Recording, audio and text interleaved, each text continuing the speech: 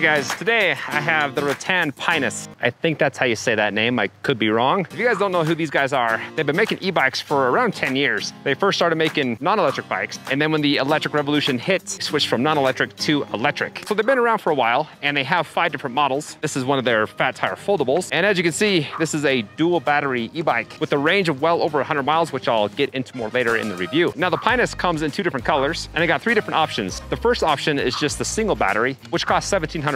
The second option is the dual battery, the one that I have, that costs just less than $2,200. And then they have a third option with a single battery. And then it has this fat tire cart you can pull behind, which looks pretty cool. They actually have a ton of accessories. I mean, you got bags, baskets, racks. These guys have a page and a half of accessories Start off, I wanna talk about the design. This is a step-through design, so very easy to mount and dismount. Look at that.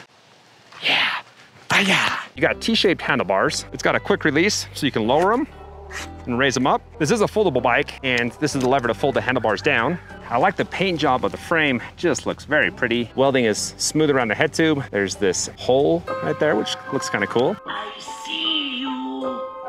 You can tell they welded these on for a front basket. Uh, and then down here where it folds, a lot of welding scars. You got BMX style rims. You got a rack that's attached to the frame and has a carrying capacity of around 60 pounds. Fenders are pretty cheap filling. That's your typical cheap plastic fender. The pedals fold in. And then here's the lever that breaks the bike in half. So just undo that and that just folds together. You know, there's really nothing too special or fancy about the frame. This is just your typical standard foldable fat bike. So let's talk about some other stuff. And the first stuff I wanna talk about is the power. This has got a 750 watt motor that peaks at 1200 watts and gives you 80 newton meters of torque, which means off the line, it's actually pretty good.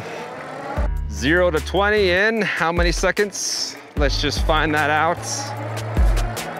There's 8, 11, 13, 16, 18, 20. Yeah, that's pretty fast. Well, now let's see how fast it can go. And to do that, I gotta put it to the highest assist level. One, two, three, four, five. And I'm just gonna use the throttle because this is a torque sensor bike, which means in order to access all the power, you gotta like, you gotta put some effort into it. And I just wanna find out how fast the bike can go just on its own. I don't wanna do anything. I'm a lazy guy and I'm okay with that. Oh, you got some power. Nice, that's 29 miles an hour. Yeah. All right, guys, well, oh, dramatic slide the camera.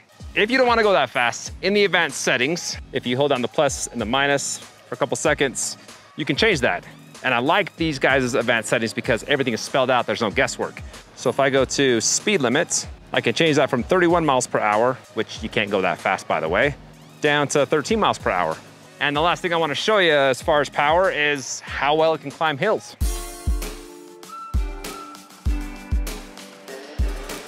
I'm at the hill, that's a 20% grade, about a half a block long. Just gonna use the throttle, here we go.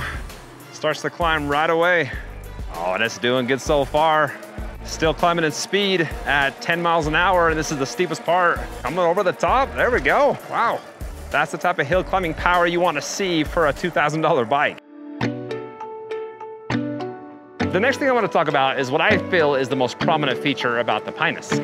And that is the dual batteries. They both take four to five hours to recharge. You can shut them off individually. And they say that you can get up to 150 miles, but that's gonna depend on the riding mode. Going back into the advanced settings, if you go to mode, you got three bars. Right now it's set to sport, there's normal and eco. Are you gonna get 150 miles on sport mode? I doubt it. I think to get 150 miles, you would need to lower that to eco mode and then set the pedal assist level down to two or three. But with five pedal assist levels and three riding modes, you actually have 15 riding experiences, I'll call them that. The next thing I wanna talk about is comfort.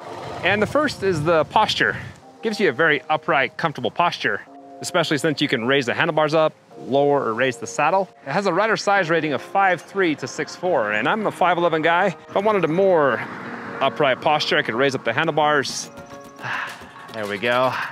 That's feeling pretty good. Got the saddle raised up to where there's just a slight bend in my knee, which is what I like, and you can raise that up even higher. Handlebars are about as high as they go. You don't wanna bring them anymore, else they're gonna fall off. And that would be not good thing to happen. The grips feel nice. They're stitched leather, wing tipped. They screw onto the handlebars so they don't move. And if they do, you can just tighten them down.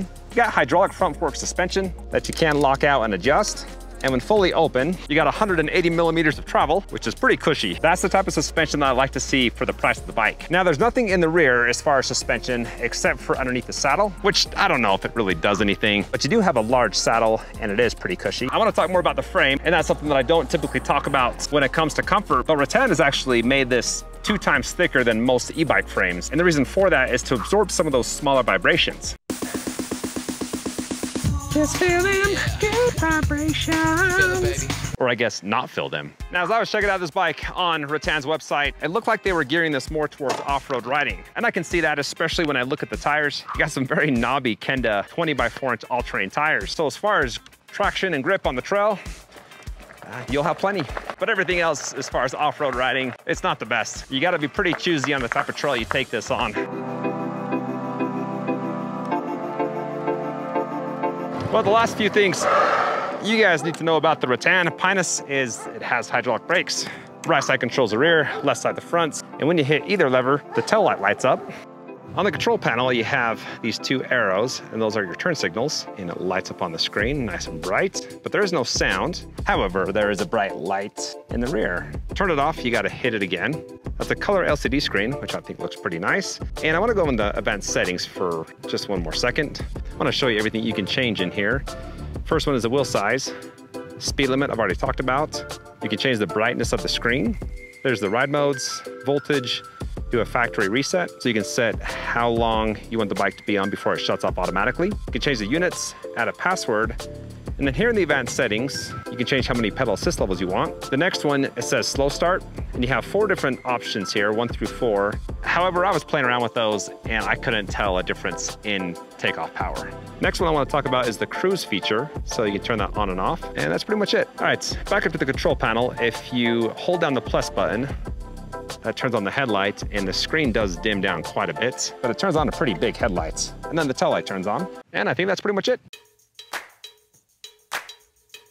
Well, I think the most appealing feature about this bike for me has got to be the dual batteries. The potential of 150 miles, I take that. And then a short recharge time of just five hours, that's not bad. Now, if you want to pick it up, I've got a discount code that will save you a few bucks. Now, if you want to check out other bikes that I reviewed from this company, I've got one up on the screen, so go check that out. And as always, I appreciate you guys hopping on here, and I'll see you on the next one.